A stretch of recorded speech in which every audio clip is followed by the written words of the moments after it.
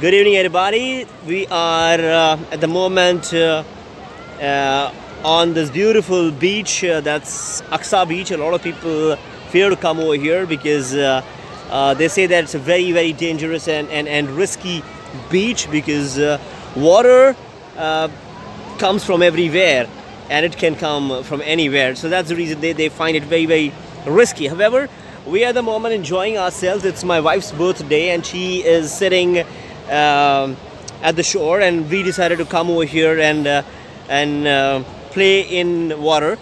Because my son is saying hi to all, all of y'all so just say hi back to him.